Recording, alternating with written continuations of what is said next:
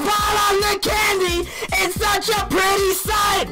It makes the food taste dandy, but my tummy hurts all night. I'll put in some ingredients, but keep the rest for me. I'm not just disobedient, I'm careful, can't you see?